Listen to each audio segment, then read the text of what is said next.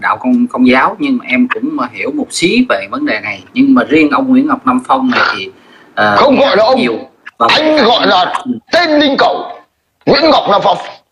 Nhà yeah. uh, trước kia thì có cái tên uh, Nguyễn uh, Nguyễn Duy Tân. Thì bây giờ lại có thêm Nguyễn Ngọc Nam Phong này.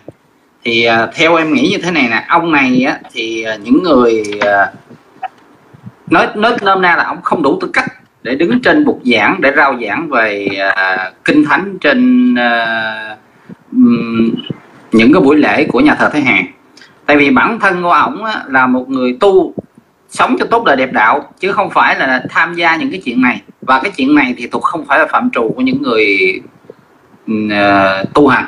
À, mà ông này thì ổng lại um, luôn luôn mở những cái uh, lớp giảng để mà rao giảng về những cái vấn đề những cái tình hình đặc biệt là vấn đề xuyên tạc về về đất nước.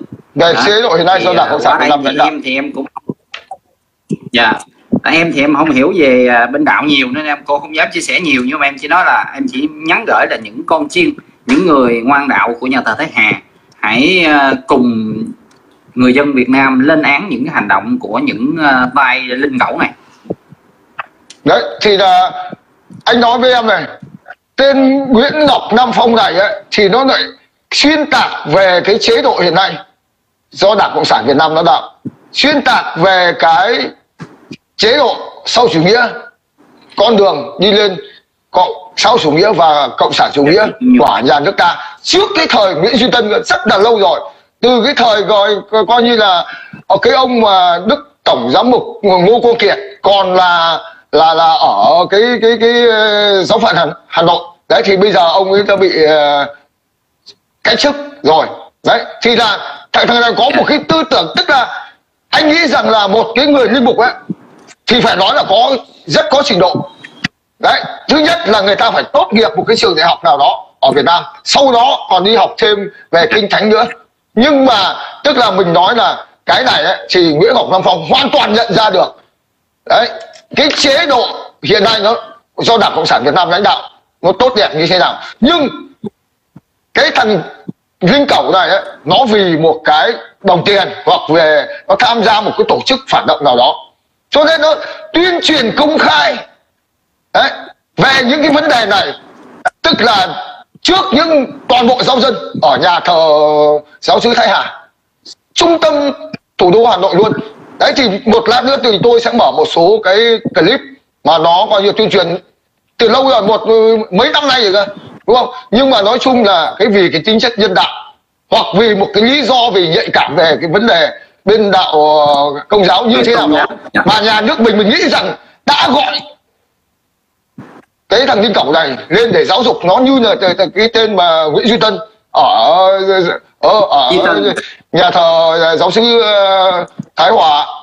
Đấy, thọ hòa. À, thọ, thọ hòa. Lên lên đã giáo dục rồi nhưng mà nó vẫn cứ chứng nào cả thấy và một cái tội nặng nhất của nó là lần lần lần này á là nhân mục dịp.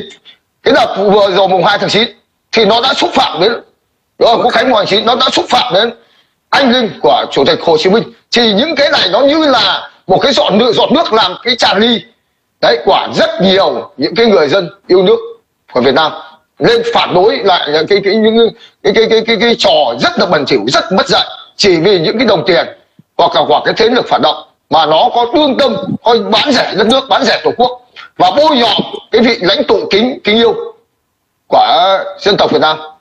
Dạ. Rồi xin mời Bình Dương. Dạ. Dạ. Thì ờ, bên cạnh đó thì em cũng ờ, mấy hôm nay thì ở Hà Nội thì các anh chị cũng biết được cái vấn đề cháy cái nhà máy uh, phích nước và bóng đèn rạng đông. Thì tay này cũng lên để mà gọi là cũng xuyên tạc về vấn đề này. Và vấn đề này thì hôm vừa rồi á, là có được hình như là 84 người uh, dân có um, cái nồng độ uh, thủy ngân trong người. Thì bây giờ á, coi như là bên sở y tế Hà Nội người ta đã cho những người dân kể cả những người đó đi lên khám bệnh miễn phí và xem uh, xét nghiệm máu xem coi vấn đề nó như thế nào để tìm ra cái cách điều trị. Nhưng mà hắn cũng lên lợi dụng chuyện này hắn cũng xuyên tạc về cái cái vấn đề. Hắn viết một cái bài báo cực kỳ là là bố láo và nói về những vấn đề và nói chung là về dùng họ dùng câu từ để mà chửi lại lãnh đạo của Hà Nội trong vấn đề uh, cháy nhà máy uh, bóng đèn kính rạng đông. uh, và bóng đèn rạng đông dạ. Đó. thì uh, qua đây thì em em nói là riêng bản thân em em lên án hành động của cái tay này và mong rằng là những người giáo dân ở Thái Hà hãy nhìn ra được những vấn đề này và cùng chung tay hãy tẩy chay ông tay này không để đó để làm ảnh hưởng đến vấn đề tôn giáo và ảnh hưởng đến vấn đề uh, xã hội của Việt Nam. Rồi. Dạ. Thì thì thật ra em thì em về tôn giáo bên công giáo em không em lên chia sẻ anh xíu. Rồi. Cảm ơn ok anh. Rất, dạ, cảm, cảm ơn Bình Dương. Chúc em một buổi tối vui vẻ. Rồi xin dạ. chào Bình Dương.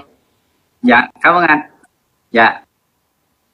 Vâng tất như tất cả các bạn đều biết là nhân dịp mùng 2 tháng 9 à, vừa rồi á thì là rất đông những cái người dân Việt Nam đã đến viếng lăng Hồ Chủ tịch bày tỏ cái lòng kính yêu đối với bác hồ kính yêu của uh, chúng ta. Nhưng mà tên nguyễn tên linh cẩu nguyễn ngọc nam phong này nó đang tâm nó nói xấu uh, xấu hồ chủ tịch và nói xấu cái việc coi như là xây lăng để mà ví dụ để cho nhân dân ta đến viếng hồ chủ tịch. Đấy thì nói chung là tôi cũng không muốn vì là những cái lời lẽ của nó rất là mất giận Đấy, động đến đến cái vị, vị cha già của dân tộc thì tôi không muốn đọc những cái cái cái cái cái cái cái, cái, cái, cái, cái lời lẽ của nó ra đây vì đọc ra đây thì các bạn các bạn coi như các bạn nghe thấy thì các bạn đã đột nhiên với cái, cái thằng này rồi vâng nó xúc phạm đến hồ chủ tịch và có một điều nó nói là hiện nay ấy là coi như mình xây dựng lăng là một năm tốn kém bao nhiêu tiền lại khác tôi nói với tất cả các bạn khi hồ chủ tịch mất đi thì là theo ý nguyện của toàn bộ toàn thể nhân dân Việt Nam. Đấy thì là bộ chính trị đã quyết định đã giữ thi hài của hồ chủ tịch lại và xây lăng cho hồ chủ tịch để coi như nhân dân cả nước khi mà ví dụ đất nước thống nhất nhân dân Việt Nam đấy, và nhân dân cả nước được coi như là đến thăm coi như là hồ chủ tịch. Và coi như là các bạn thấy từ cái thời gian mà coi như là thi hài bác được giữ gìn cho đến nay. Có rất nhiều những người dân, kể cả nhất là những đồng bào miền Nam, có dịp ra Hà Nội thì người ta không bỏ qua cái thời gian, bỏ qua cái cái cái dịp để mà đến viếng Hồ Chủ tịch và nhân dân cả nước. Hầu như đến Hà Nội là cái việc đầu tiên người ta nghĩ là coi như là, đấy, là là coi như là đến viếng Hồ Hồ Chủ tịch nó nói bây giờ coi như là để coi như là đấy tốn kém này các tôi nói với tất cả các bạn. Trong cuộc sống hai cái thứ nhất là về vật chất thứ hai về tinh thần đều phải đi đôi đi ờ, song song với nhau. Dù có xây lăng hồ chủ tịch và dù dù có coi như là chi phí tốn kém bao nhiêu chỉ vì cái lòng kính yêu của nhân dân Việt Nam đối với hồ chủ tịch đối với vị cha già dân tộc. Đấy, thì chúng ta cũng coi như là giữ thi, thi hài của hồ, hồ hồ chủ tịch để nhân dân được kính viếng bác đúng không? Cái này không thể tính thành bằng tiền được. Thấy chưa?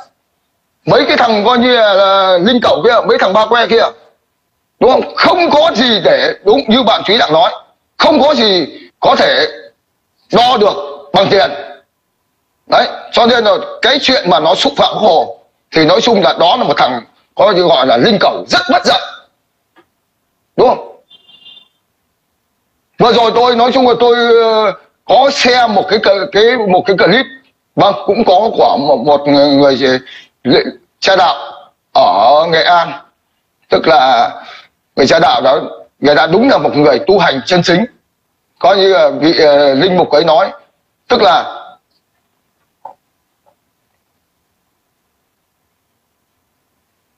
đấy thì là vị linh mục nói là mong tất cả các linh mục ở trong nhà thờ đúng không? không nên giao giảng cái vấn đề chính trị ở trong nhà thờ mà chỉ có lao giao giảng cái kinh thánh hoặc cái tin mừng đấy cho những bà con giáo dân và nói những điều hay lẽ phải cho những cái, cái con chiên đúng không đấy thì là nói chung là tôi có xe cái clip đi về nhưng mà vào cái cái chỗ mà mà mà, mà cái cái nick Nguyễn Văn Bằng thành công bây giờ cái nick bị mất thành công là cái cái cái đấy không có nhưng mà nhiều bạn ở đây thì chắc cũng xem được cái cái lời của cái vị uh, linh mục đó. Rất đẹp lão rất hay những cái lời. Tôi nói là tôi nghe cũng thấm thiế đúng không? Đó là với là những cái, cái, cái, cái vị linh mục chân chính.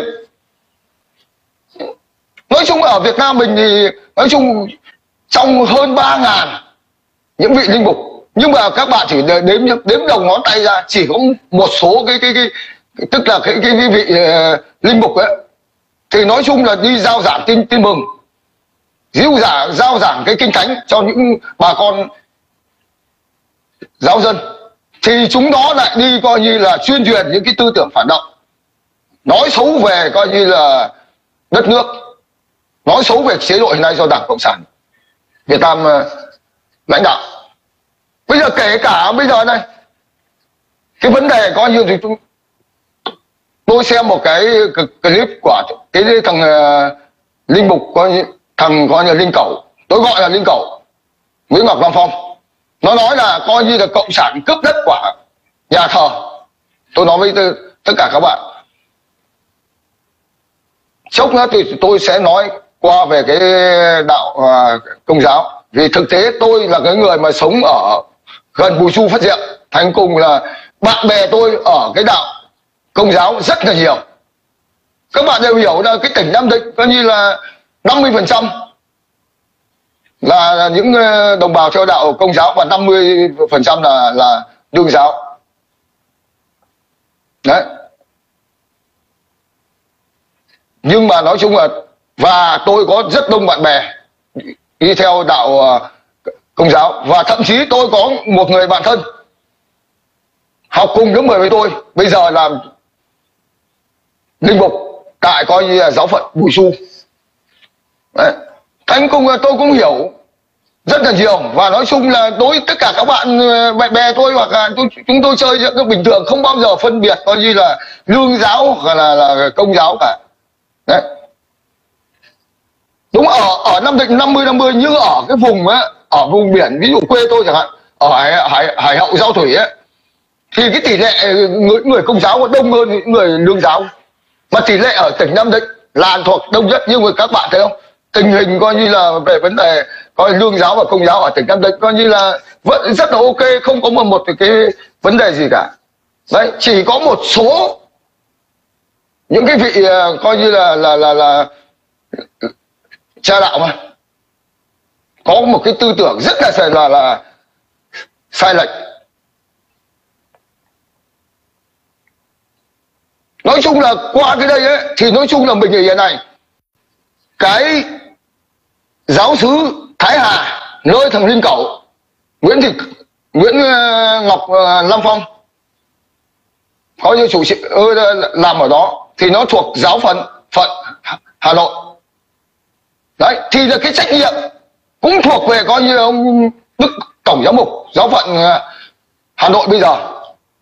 Rồi anh mời lưu linh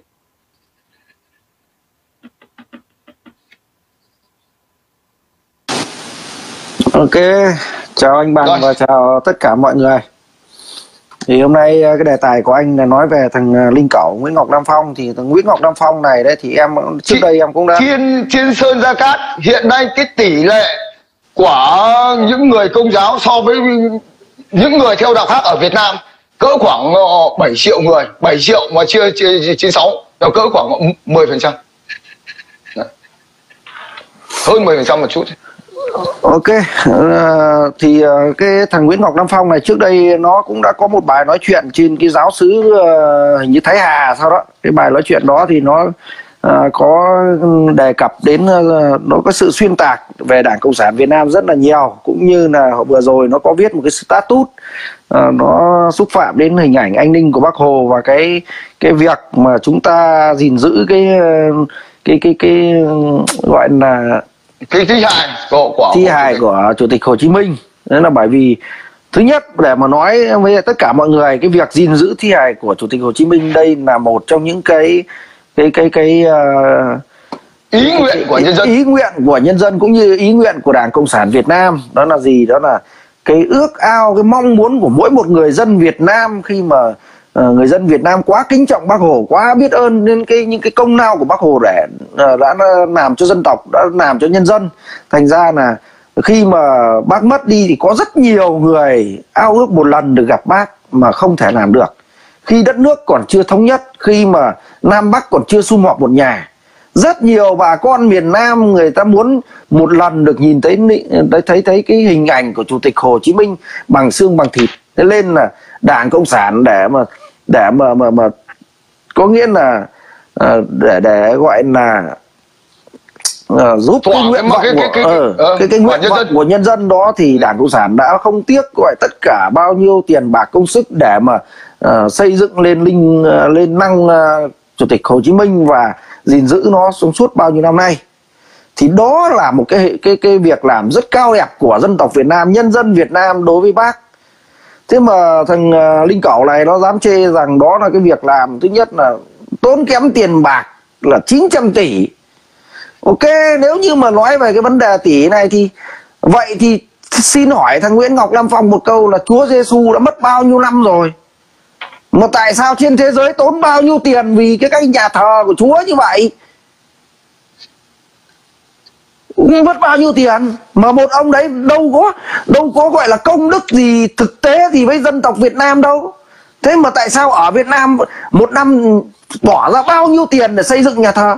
Vậy ông là cái người mà linh cái, linh mục đó, ông đã bao giờ ông đặt câu hỏi với lại những cái người, những cái người ở trong công giáo chưa? Đặt lên Vatican chưa? Và đặt câu hỏi cho chính bản thân của ông chưa? Bằng tại sao đấy cũng là một ông Chúa Giêsu đấy mà các ông mới bỏ ra bao nhiêu tiền xây nhà thờ như vậy?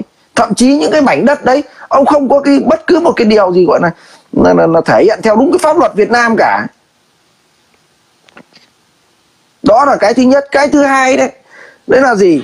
Là ông có nhìn thấy ở bên Pháp không? Khi bao nhiêu người dân đang biểu tình đòi cái quyền lợi ừ, cái cơm áo gạo tiền hàng ngày của họ đó cuộc sống khủng hoảng đó. Vậy thì tại sao mà nhà vừa mới cháy cái nhà thờ pháp cái này đã có cả một tỷ usd vào để phục dựng lại nó trong khi những người đấu tranh đòi cái miếng cơm manh áo của thế hệ họ, thế hệ con cái của họ, lại không được. Vậy thì ông ông là linh mục, ông có giải thích cho tất cả những cái, những người mà gọi là giáo dân của ông hiểu được điều đó không?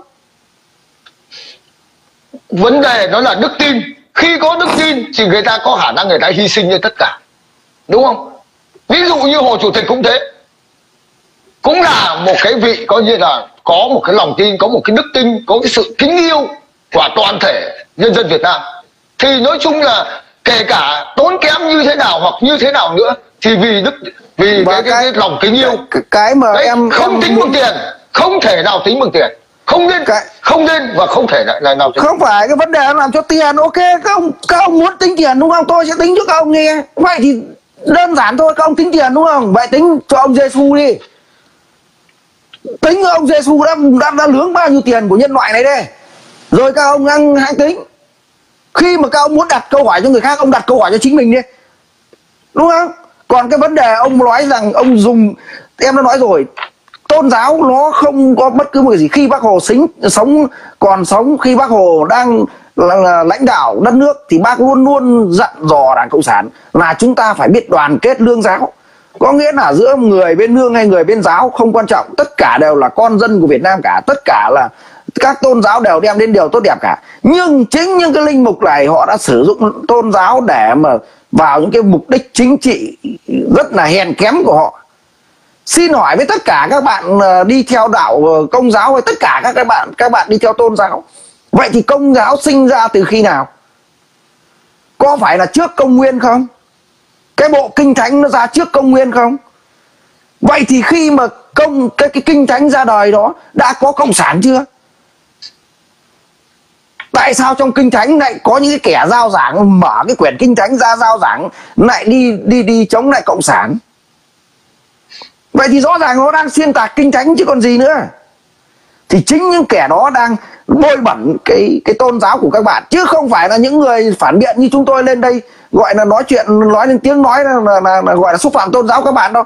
Chính những thằng mà nó đang khoác cái áo linh mục đấy nó đang bôi bẩn cái tôn giáo của các bạn đang bôi bẩn cái bộ kinh thánh của các bạn. Chứ không phải mà nó, nó cũng những cái cái vị vị linh mục đó đúng không? Nó làm do ví dụ cái tình cảm của những người gọi là không theo đạo không chưa chưa theo theo theo đạo công giáo nó mất đi ít nhiều đúng không? Nó làm xấu nó không phải làm đẹp cái cái hình ảnh đạo công giáo đâu. Nó làm mất đi cái hình ảnh của đạo công giáo. Tôi nói các bạn theo đạo công giáo là như thế thì đó đó là cái cái vấn đề chính của của ông ta là ông ta muốn gọi là kích động mọi người là, là hạ bệ cái uy tín của đảng cộng sản cũng như là hạ bệ cái cái cái cái uy tín của chủ tịch hồ chí minh thôi. Nhưng mà cái vấn đề này đấy một khi mà các anh xuyên tạc thì nó rất dễ để để hỏi thôi chứ chả có cái gì cả. Các bạn nên biết rằng kinh thánh ra đời trước công nguyên.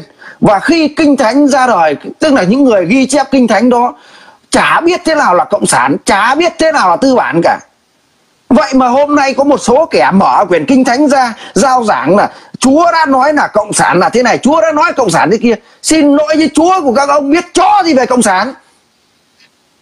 Khi chúa các ông ra đời và chúa các ông mất ở trên cái cuộc đời này, theo đúng cái cái cái cái bộ phim mà các ông vẫn giao giảng, vẫn chiếu trên truyền hình đó, là lúc bấy giờ con người người ta vẫn ăn nông ở lỗ.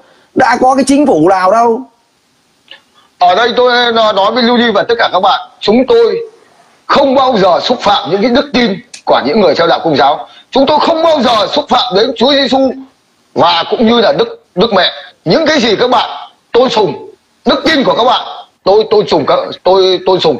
Nhưng tôi những người mà giao giảng đúng rồi chúng tôi coi tôi trọng những người nào mà mà coi như là đi giao giảng cái đức tin cho các bạn đúng không? Giao giảng những cái về về về về về cái cái, cái kinh thánh cho các bạn lại coi như là đi nói xấu về chế độ, nói xấu về đất nước.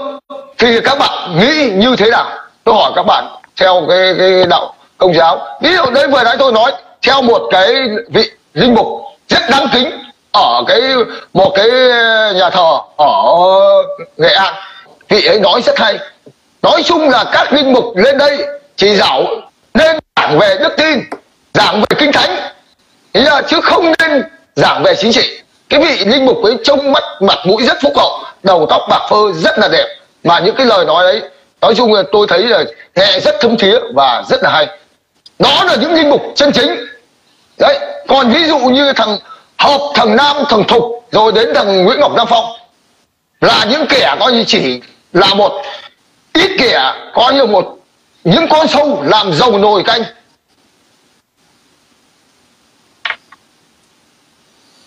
Mà Rồi, trong cái cái cái status của Nguyễn Ngọc trong cái status của thằng Nguyễn Ngọc Lam Phong này đấy thì chúng ta cũng thấy là thằng này nó đi hoàn toàn ngược với lời dạy của Chúa hết à. Đúng rồi. Nó, nó nó hoàn toàn đi ngược lại lời dạy của Chúa. Như thế nào gọi là đi ngược? Chúng ta phải phân tích xem. Chúa nói cái gì? Chúa nói rằng là à, cái cuộc đời này nó chỉ là cõi tạm thôi. Các, các con không nên sân si các con không nên tham uh, tham vọng những cái gọi là những cái sự phồn hoa vật chất. Đúng không tức là ý muốn nói rằng tất cả đời nó chỉ là cõi tạm còn cái nước của các vị đấy nó nằm ở trên thiên đình như kìa. Thế thì tại sao cái cái cái một thiên cái người cha đạo thiên như là gọi, uh, mình gọi là thiên đàng. Gọi là thiên đàng đó đúng không? Ờ. có nghĩa là có nghĩa là nước của các vị ở trên thiên đàng kia kìa. Chứ còn ở đây các vị đều là những người gọi là quái tạm thôi. Vậy thì tại sao các vị lại đi sân si đến chuyện tiền bạc chúa dạy các vị không bảo bao giờ các vị có lòng tham ích kỷ về tiền bạc như thế không? À, mà, mà các vị hôm nay ngồi đến đây nói đến 900 tỷ một năm. Trong khi những người dân Việt Nam họ chưa bao giờ họ nghĩ đến chuyện tiền bạc cả mà mà bây giờ một cái người mà gọi là mang danh gọi là những người truyền giáo của Chúa những người truyền cái tư tưởng của Chúa cho con chiên lại bắt đầu ngồi sân si tiền bạc như vậy. Như vậy có phải chính vị các vị đang đang đang cãi lời của Chúa không? Đấy, cho nên là cái việc cái thằng Nguyễn Ngọc nam Phong này, nó viết sử tút một câu thôi, nhưng mà nó thể hiện được là là cái cái cái sự gọi là ngu dốt của nó kể cả về cách làm người lẫn về về về trong ờ, cái những những lời dạy của Chúa. Kẻ này mà tại sao giáo dân vẫn còn để cho họ đứng ở trên bục giảng, hàng ngày giao giảng những lời của Chúa như vậy nhỉ? Mà lại giữa thủ đô Hà Nội đấy. Đấy nếu là giữa thủ đô rồi thì thực tế là đấy là những người dân thủ đô là những người rất văn minh. Đấy nhưng mà ví dụ như một số tôi nói với tất cả các bạn một số những cái giáo dân ở cái giáo sứ Thái Hà cũng bị cái sự tiêm nhiễm của thằng Nguyễn Ngọc Nam Phong này. Đơn giản như ví dụ nha điển hình như là cha con coi như thằng coi như là là thảo tê ra với lại uh, dũng mai ấy đấy cũng là sinh hoạt trong giáo sứ thái hà đấy cũng bị tiêm nhiễm và rất nhiều của những kẻ nữa. Đấy, em tiêm nhiễm cái về em, cái, cái, em thì em thì em không không tìm hiểu về những cái này nhưng em chỉ thấy được một điều cha đạo ấy mà thứ nhất nên là phải phải biết là gì. Khi mà cái mỗi một cái người ờ, người người công giáo đấy họ thường hay có một cái điểm rất là hay như này là khi mà ngồi ăn cơm đấy trước khi ăn một bữa ăn nên là họ luôn cầu nguyện luôn cảm ơn Chúa đã ban phước lành ban cho chúng con cái bữa cơm này đúng không ạ? Thế nhưng mà lên nhớ một điều đấy là nếu như các vị ừ đó ok, các vị có nghĩa là ban, tức là ý ở đây đây là Chúa sẽ ban cho chúng ta tất cả những cái vật chất này và vật chất này chúng ta làm lên cái bữa ok? Tôi cũng rất là tôn trọng cái đức tin của các bạn. Thế nhưng mà Chúa là ban cho vật chất, còn Đảng Cộng sản mới ban cho các bạn được là ừ các bạn đi kiếm ở chỗ nào để về giữ cho các bạn cái vật chất đó thế mà tại sao ờ, các vị không biết cảm ơn Đảng Cộng sản? Nguyễn Ngọc Lam Phong trước khi đứng lên trên cái bục giảng này trở thành người truyền giáo cho tôn giáo này. Thì Nguyễn Ngọc Lam Phong là một công dân của Việt Nam được lớn lên ở Việt Nam và ăn cái bữa cơm do, do những người cộng sản đã đổ xương đổ máu để giữ cho các vị. Các vị không biết cảm ơn. Và mặt khác tôi nói với tất cả các vị theo đạo tôn giáo hoặc tất cả những đạo giáo ở Việt Nam đều dưới sự quản lý của nhà nước Việt Nam đạo giáo cũng phải là dưới pháp luật. Đúng không? Vì các vị là công dân của nước cộng hòa xã hội chủ nghĩa việt nam. Đấy. Chứ không phải là các vị là một cái ông trời nào đó các vị xuống dưới này. Các vị coi như nằm ngoài cái vòng pháp luật. Ở nước, nước, cộng hòa nước nào trên thế giới cũng cũng vậy chứ chẳng riêng gì ở việt nam. Không có nước thì lấy đâu ra có nhà. Những cái nhà nó đã nó gọi là nhà thờ tức là gì là nó đã thấp hơn nước rồi. Tức là không có nước thì không có nhà. Tức là không có nước tức là không có nhà thờ. Các bạn biết anh được anh, anh, anh lưu lễ nói rất đúng rồi. Tức là chúa không dạy gì ấy chúa phải dạy yêu thương kẻ thù. Kẻ thù tức là nó tát má phải với cái thì các con phải yêu bãi trái cho người ta ta. Nhưng mà đây hay, đúng không? đây lên toàn đây lên toàn kích động lên toàn bêu dếu thì thế đấy đâu phải là những cái lời lẽ của Chúa đâu cho nên thằng này nó nó nó nó nó nó, nó mang cái tư tưởng cái tư tưởng đấy là gì? Cái sự khốn nạn của những cái tên gọi là lúp váy à, lúp xin lỗi các bạn tức là lúp cái áo tôn giáo để nó lên nó, nó thực hiện những cái mưu đồ mục đích bẩn thỉu. Tôi nói cái, tất cả các ban vũ này cái luật tín ngưỡng thì nó vẫn dưới cái cái cái cái, cái đạo luật của nước cộng hòa xã hội chủ nghĩa Việt Nam nó không thể nó vượt lên, lên được. Thực tế không là phải chúng ta không thể gọi là chẳng qua là nhà nước được. mình ấy. Ờ. đấy phải gọi là quy định đấy, gia quy thôi. Tức là gì? Nếu chúng ta coi cái nhà thờ gọi là nhà đấy mà thì tất cả những cái điều ở trong nhà thì nó chỉ được gọi là gia quy thôi. Thì ở đây không. nhà thờ thì có thể tôi nói với bạn quy định bạn, của nhà thờ đối lộc bạn đối lộc gọi luật được. đó là một cái chính sách một lát nữa tôi nói đó là một chính sách rất hay của đảng chính phủ và nhà nước mình. Không bao giờ có cái xung đột tôn giáo giữa người lương giáo và người ờ, công giáo và các đạo giáo khác sống hòa thuận với nhau. Các bạn thấy không? Đi, bây giờ ví dụ như giữa đạo tin lành và đạo thiên chúa giáo, ví dụ ở anh chẳng hạn, người ta chỉ có một cái quan điểm khác nhau như này. Đạo thiên chúa giáo thì thờ cả đức mẹ và cả đức chúa giêsu nhưng đạo tin lành, người ta chỉ thờ đức chúa giêsu thôi. Người ta nói đức mẹ không đồng trinh người ta phản đối không bao giờ thờ thờ đức mẹ. Ở bên anh hai đạo giáo mà ở cạnh nhau nhá đánh nhau như bổ bò như ở việt nam. Tất cả các bạn thấy không? Đạo tin lành và đạo thì thiên chúa giáo vẫn sống hòa thuận với nhau. Tôi là thầy gọi là gọi là theo đạo ông bà đi. Tôi vẫn có một người bạn rất thân thì... Ờ, là mục sư ở bên đạo tin lành và một người bạn học lớp 10 của tôi rất thân hiện nay lại làm gia sứ ở nhà, nhà, nhà thờ giáo sứ bùi xu. Và các bạn không ví dụ bằng cách đây hơn một năm tôi về quê ở, ở nam định ấy và tôi đã quay cho các bạn tôi đi dự lễ một lễ tang một đám tang của thằng người bạn thân của tôi ở thành phố nam định. Đấy người ta tức là bạn cũng theo ờ, đạo thiên chúa giáo. À, nhưng mà khi ngồi nói chuyện để để, để, để, để em trả lời bằng vũ cái bằng vũ nhưng mà không, không thể nào mà nhỡ, nhục mạ cái đức tin với lại chúa được. Thì tôi nói các bạn là tôi không có nhục không, mạ không nhục đức mạ. tin của chúa mà là chính cái thằng không. nguyễn ngọc lam phong đấy nó đang nhục mạ. Nhục mạ nghe bạn tôi hiểu không, không? Ờ. Nó đang xuyên tạc kinh à, nó đang xuyên tạc kinh thánh đó. Trong kinh thánh tôi nói thật các bạn kinh thánh là cái quyển kinh cổ đã được viết ra cách đây 2.000 năm. Trong đấy chẳng bao giờ biết cộng sản là cái gì cả chả biết tư bản là cái gì cả tại sao bây giờ nó lại bênh tư bản mà nó lại đi đi bênh cộng sản? Ở đây rồi. Ở đây có du di mình sẽ cho xem một nghe một đoạn của nguyễn ngọc nam phong. Thưa cộng đoàn phúc. Những chỉ dẫn để chúng ta hành động cho đúng với tin mừng. Cuốn sách này đề cập tới mọi vấn đề của cuộc sống giúp cho chúng ta khi sống trong xã hội đầy bất công hiện nay, chúng ta tìm thấy con đường cho chính chúng ta. Để chúng ta không gục ngã trước những bất công, đặc biệt để chúng ta không tiếp tay cho sự ác. Đức tổng ngô văn kiệt ngài nói về cuốn sách này như là món quà của chúa ban cho dân tộc Việt Nam. À, Ngô Quốc Kiệt thì đã đã bị coi như là xuất phế rồi. Khủng hoảng về niềm tin, đặc biệt đang khủng hoảng về ý thức hệ. Chúng ta không biết xây dựng xã hội dựa trên những nền tảng triết học nào.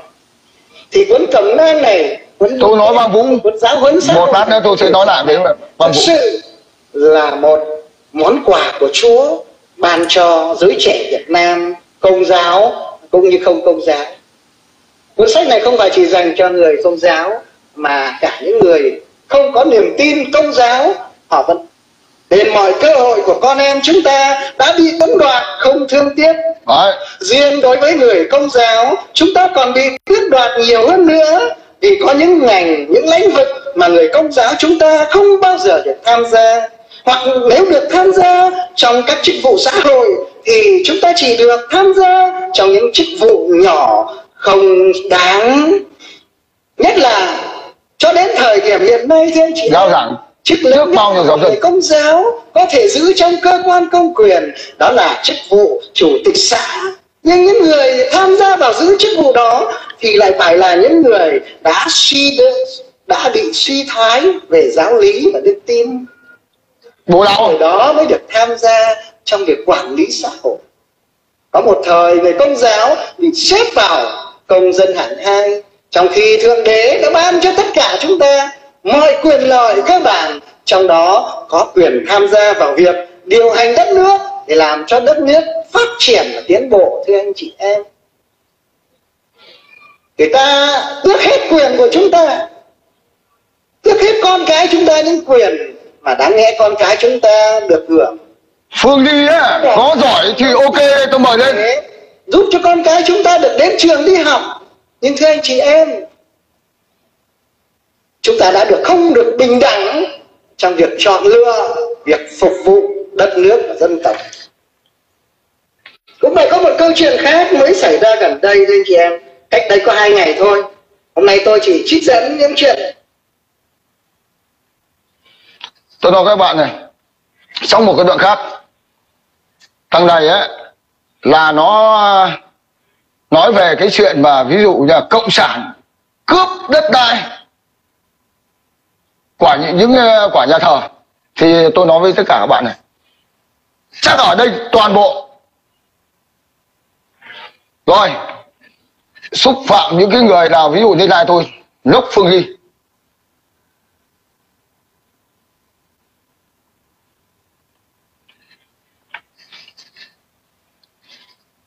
Đấy, thì như tất cả các bạn ở đây, cũng như tôi, đều đã hiểu rằng là ngày xưa thì nói chung là thực chân pháp đã dựa vào cái ờ, đạo thiên chúa giáo để mà cai trị nhân dân ta, đất nước ta. Cho nên là cái đạo thiên chúa giáo được rất nhiều những bổng lộc của pháp về đất đai họ kia. Thì trong, đến năm 1900 coi như là 54 khi uh, chiến thắng điện biên phủ thì là mình ấy, mới uh, tức là phải cải cách lại ruộng đất. Thì nói chung là những cái đất đai những cái khu vực nào đã xây nhà thờ rồi thì mình vẫn cứ để nguyên. Thì tất cả các bạn đang cũng đều, đều hiểu. Hiện nay những nhà thờ đấy để cho các giáo dân đi cầu nguyện và để sinh hoạt về tôn giáo, ở trên đất nước Việt Nam coi hiện nay rất là nhiều. Đấy. Chứ còn bây giờ ví dụ như cái đất đai, ví dụ nó không dùng đến, thì đất đai là của toàn dân, giao cho nhà nước quản lý và giao cho dân sử dụng và giao cho các cơ sở. Thì các bạn thấy không? Thì những đất đai mà coi như nó dư ra ở bên ờ, đạo thiên giáo thì nhà nước quản lý và dùng làm những cơ sở về công viên về trường học. Các bạn thấy một số coi như là năm vừa rồi đấy nó coi như ở bên bên bên bên uh, ngoài giáo sứ ở ngoài hà nội đấy. Coi như dân chân chúa giáo biểu tình để đòi lại cái đất mà là làm công cái công viên tuổi trẻ bây giờ. Nhưng mà nói chung là nhà nước mình vẫn vẫn kiên kiên quyết đúng không? Đấy còn muốn xây nhà thờ nhà nước sẽ cấp cho một cái khu đất ở một cái khu vực khác.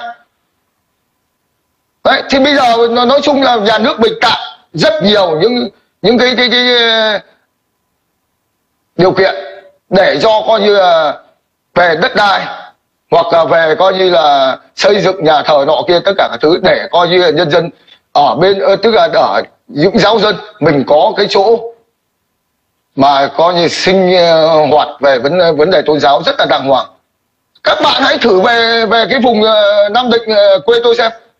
Các bạn có dịp mà đi xuống quất lâm hoặc xuống hải thịnh các bạn đi dọc trong những bờ đê. Các bạn thấy những nhà thờ nguy nga lộng lẫy. Rồi xin mời long việt.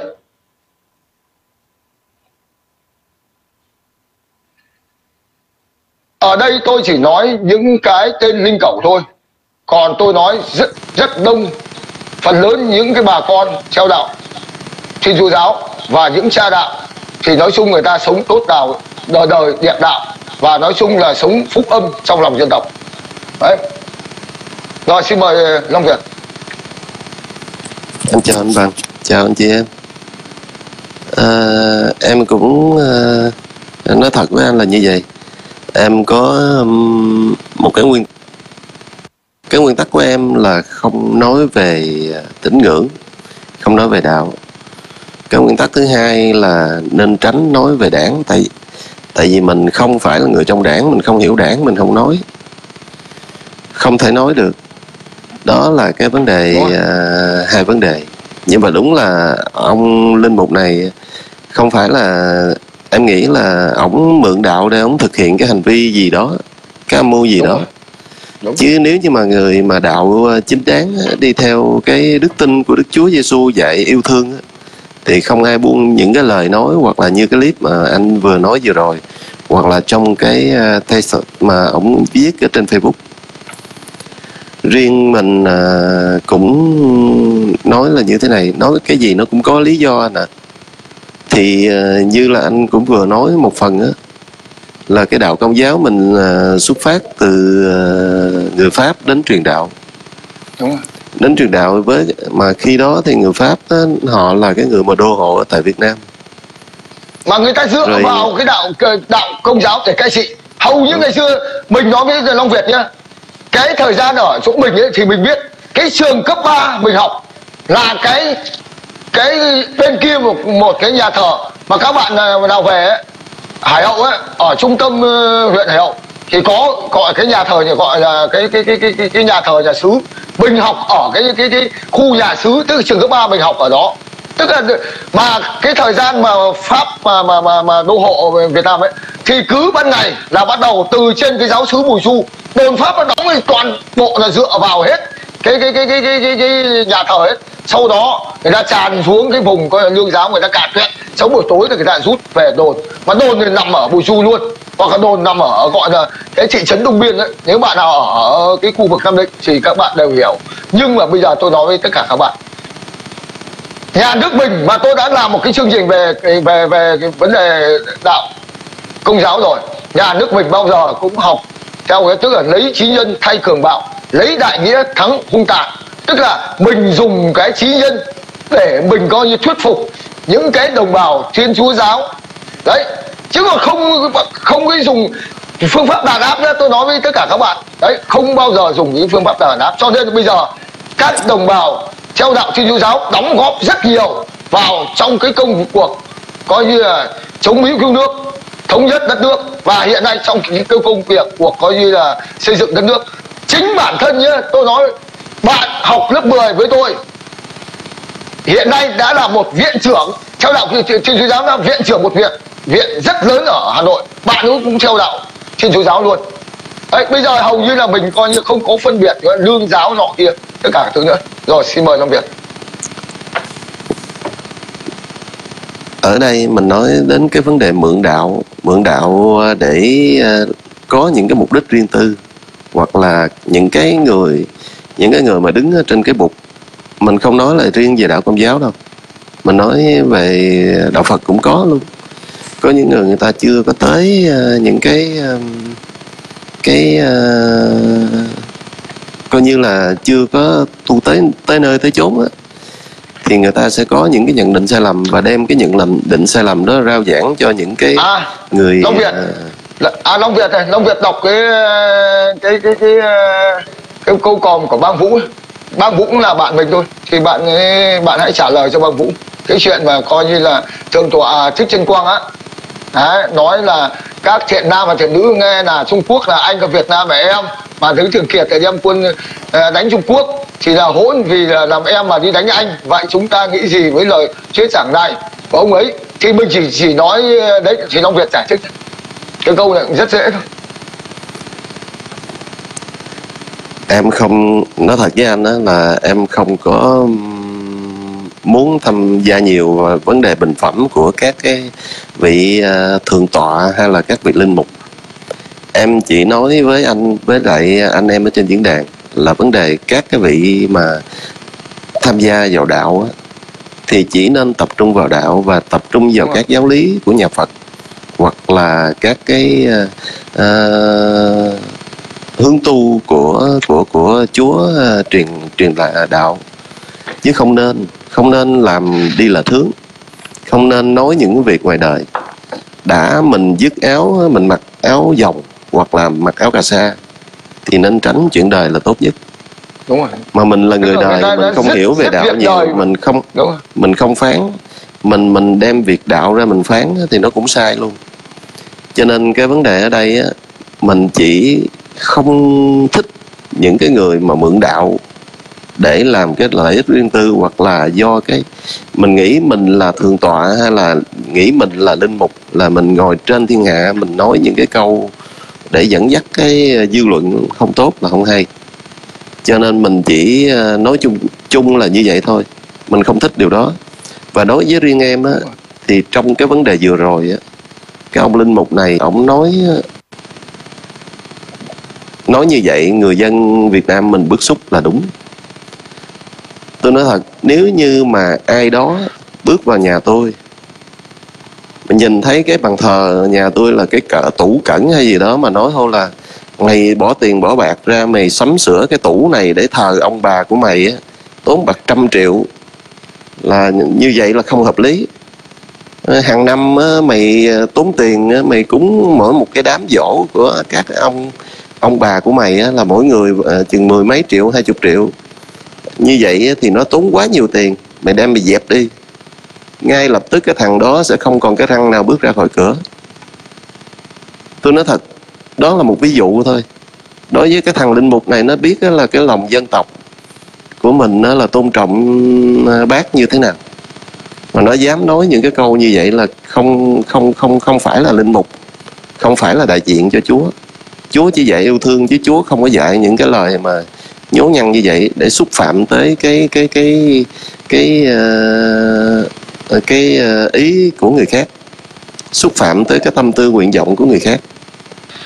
Nó có thể nó nó nói bất kỳ cái gì đối với con con chiên để dẫn dắt con chiên đi vào hướng thiện nhưng mà không thể dẫn đem những cái sự vụ của ờ, việc này việc kia ra để mà so sánh để mà nói chuyện như vậy tôi nói thật nhắn gửi với thằng linh mục này với các con chiên mà đang nghe nó rao giảng mà nếu như đã thấm nhuần cái tư tưởng mà nó rao giảng thì nên lấy lá nho che mặt đi.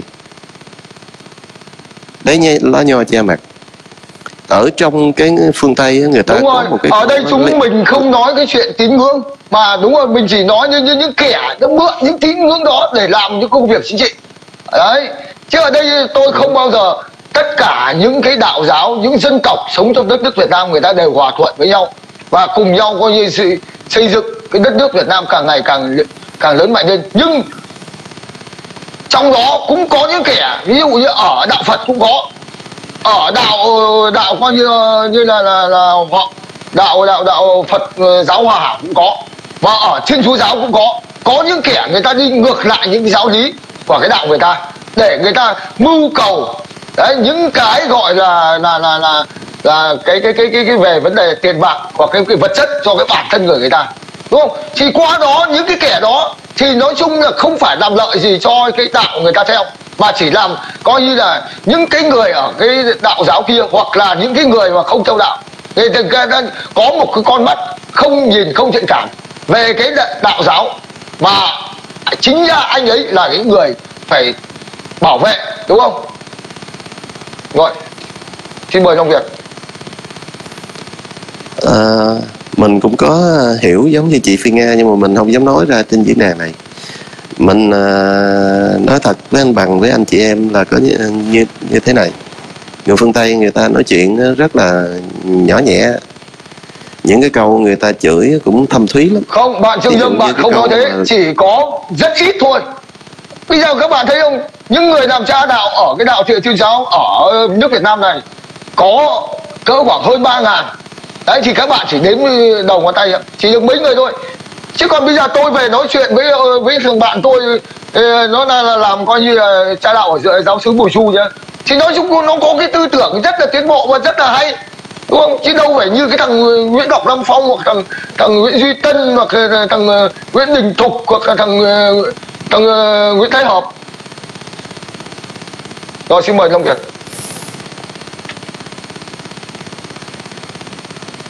À, thấy căng thẳng quá chắc em kể câu chuyện cho nó vui vui một tí đi. Không nói chung là mình mình mình chỉ nói về vấn đề coi như ấy thôi. Coi coi nhà nước và đảng mình và chính phủ mình rất quan tâm vấn đề coi như về chúa giáo. Thì một lát nữa tôi sẽ mở cho bạn một cái clip của cái góc nhìn sự thật của cái truyền hình công an nhân dân nói về vấn đề coi như những tôn giáo ở Việt Nam mà đảng và chính phủ mình quan tâm đến như thế nào. Rồi ok. Không có vấn đề gì cả. anh biết anh biết sao nãy em nói thôi ông linh mục đó nên lấy lá nho che mặt đúng không? Ở phương tây người ta có những cái câu nó ví von như vậy nhưng mà điều mình nếu như mà hiểu sâu xa chút xíu thì nó cực kỳ thâm thúy anh ạ thí dụ như lấy lá nho che mặt em kể cái tích của câu chuyện lấy lá nho che mặt cho anh bằng với anh chị em nghe. Nó là như thế này.